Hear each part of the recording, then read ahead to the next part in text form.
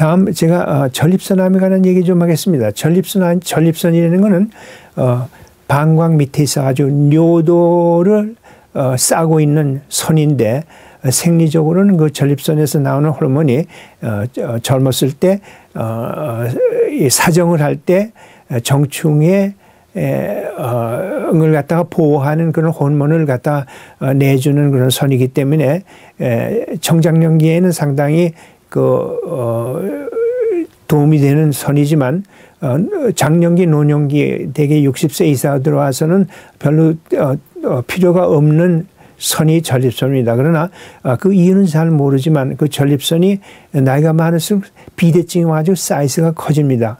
그 사이즈가 커짐으로써 어, 때에 따라서 그 어, 비대증이 와가지고 그 안을 뚫고 지나가는 뇨도를 압박해가지고 어, 뇨를 배출하는데 문제가 있을 수가 있습니다. 그래서 나이가 많으시게 됨으로써 소변 나오는 그 나오는 속도가 줄어들고 소변 보시는 빈도가 높아지고 또 소변이 마려우면은 빨리 변소에 가지 않으면은 어, 컨트롤하기가 힘들고 이러는 경우도 많이 있습니다. 그래서 이런 증상이 나오거나 보이면은 초기에 어, 조사를 해가지고 전립선의 비대증이냐 또는 전립선 암이냐를 구별하는 게 좋습니다.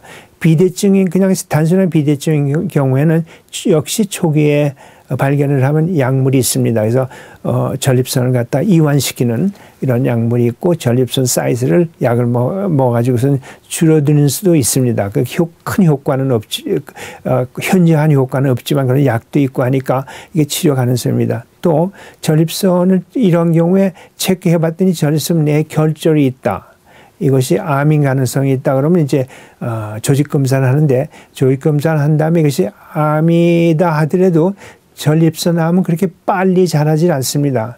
어, 빨리 자라질 않기 때문에 이것을 우리가 나이가 많으신 분, 예를 들면 80대가 들어가지고 75, 80대가 들어가지고 전립선 암 초기 증상에서 결절이 생겨서 이것이 조직검사에서 암이 된다 하더라도 그 암, 아, 암의 그 속도는 빠르지 않기 때문에 꼭 수술을 해서 제거해야 한다는 그런 결론은 나오지 않습니다. 그러나 젊으신 분, 50대, 60대 어, 초기에 암이 발견되면 이거는 전립선을 제거해서 어, 제거해서 암을 제거해야 합니다. 근데 혈립선 제거하는 방법은 어, 수술하는 방법도 있고, 어, 제, 어, 최근에 와가지고는 그 수술을 갖다가서는 로봇을 이용해가지고 수술하는 방법도 있고, 또, 어, 방사선을 써가지고서는 어, 제거하는 방법도 있고, 어, 또 약물 치료하는 방법도 여러 가지 방법이 있고 새로운 방법이 또 자꾸 나오고 있습니다. 레이서를 통해 가지고서는 그 뇨도를 확장하는 방법도 있고 하기 때문에 이것도 역시 제가 말씀드린 대로 유방암 비슷하게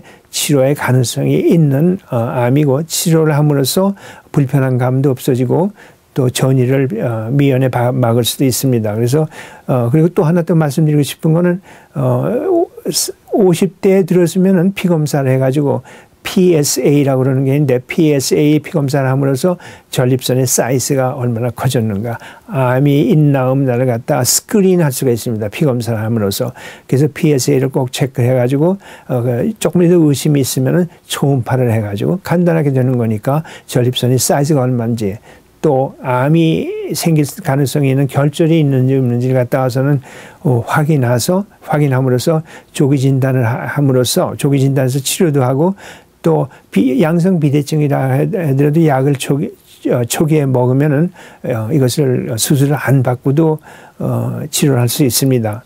그래서 그게 참 중요한 겁니다. 또 암 얘기가 났으니까 말인데 제가 또 한마디 하고 싶은 한국 재미교포들을 특히 위해서 한국 사람들에 대해서는 암에 또 어, 특이한 암이 있지 않는가 그 문제에 대해서 제가 간단히 말씀드리겠습니다. 하나는 간암입니다. 여러분 아시다시피 어, 한국 사람한테는 간암이 많습니다.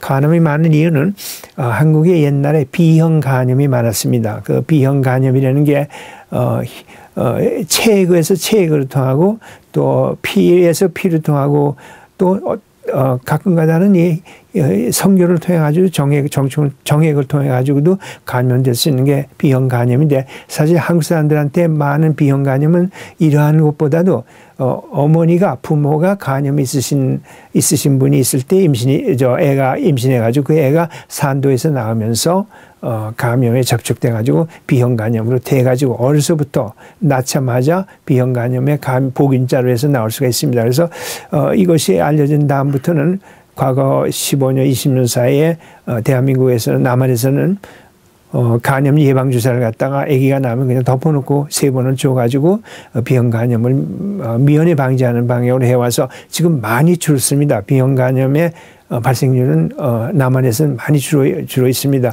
북한에서도 어, 미국의 과학자들이 의사들이 비형 간염 예방 주사 만드는 어, 기술을 갖다가서는 어, 전도해줘서 북한에서도 비형 간염의 어, 예방 주사가 어, 나와서 쓰고 있습니다. 그래서 앞으로는 큰 문제가 없으리라고 생각하나 비형 간염이 만성으로 돼가지고 그것이 암으로 되는 경우가 굉장히 많습니다. 그래서 옛날에 우리나라 사람들 특히 재미교포 나이 많으신 분들의 간암이 있다 이러면 우선 비형 간염이 과거에 어, 감염되지 않았었던가 이것을 의심하게 됩니다. 그래서 어, 그게 간암이고 그래서 간암이 우리나라 사람들한테 많이 있고 근데 간암이 일단 생기게 되면 역시 어, 조기 발견을 하게 되면은 우리가 치료할 수 있는 방법이 있습니다. 간암을 간을 갖다 일부 떼어내야 된다. 간은 어, 일부를 떼어내도 어, 다시 재생할 수 있는 기관입니다. 그래서 간암을 제거할 수도 있고 또 여러 가지 어, 새로 발견된 어, 항암제 어, 약도 있고 해서 어, 치료가 가능한 암입니다. 그리고 아까 말씀드린 대로 비형 간염이 컨트롤 됨으로써 차차 우리나라 사람 사이에 간암의 발생률은 줄어들고 있습니다. 또 하나 우리나라 사람들이 특히 잘 보는 거는 이것은 중국 사람하고 일본 사람도 그렇지만 식도암하고 위암입니다. 그래서 그 이유에 대해서 여러 가지로 연구도 하고 했는데 무슨 예를 들면 우리가 한국 사람들은 매운 음식을 먹어서 자극성 때문에 생기는 게 많이 생기는 게 아니냐 또는 된장 때문에 뭐 생기는 게 아니라는 이런 말도 많이 있었는데 그게 다 정확하지가 않습니다. 여하튼 간에 한국 사람들한테 어, 식도암하고 위암이 높은 거는 사실인데 이게 재미있는 거가 어, 그런 어, 어, 교, 한국 사람들이 미국에 이사해가 이주해가지고 와서 한 10년, 7년 내지 10년 있으면 어, 식도암이라든가 간염이 발생이 차차차 줄어가지고 어, 미국 백인들 비슷해집니다.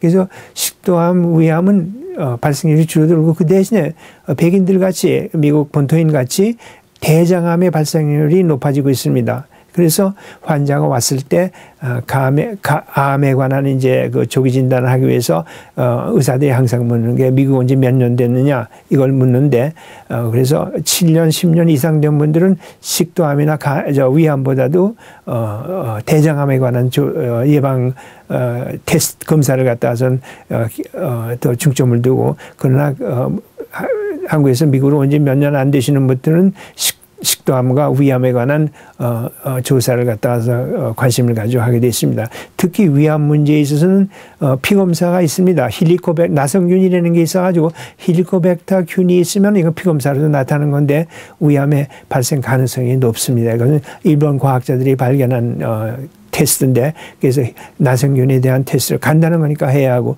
또 대장암에서 특히 어, 피검사, 피검사가 있습니다. CEA라고 그래가지고 카시노마 엠브리아닉 엔티젠이라고 해가지고 피검사를 해가지고 CEA가 높으면은 특히 미국에 와서 7년 내지 10년 오래 사신 분은 대장암을 의심해가지고 대장 내시경을 꼭 어, 어, 하셔야 합니다.